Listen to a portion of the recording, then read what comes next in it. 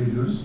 Bu vesileyle sosyal İTVAK'ın e, bu projesine Hayat Projesi adı veriyoruz, adını veriyoruz. Çünkü bu proje değerli doktorlarımızın katkılarıyla, yapılan hizmetlerle çocuklarımızı uluslararası tedavi olanakları sağlayacak ve uluslararası tedavi sağlarken kendi yaşıtlarıyla aynı haklara sahip olacaklardır bu tedavi sürecinde. Ege Üniversitesi Hastanemiz gerçekten sadece ülkemiz için değil, uluslararası arenada da ismini duyuran bir e, sa- sağlık hizmeti anlamında önemli bir hastane.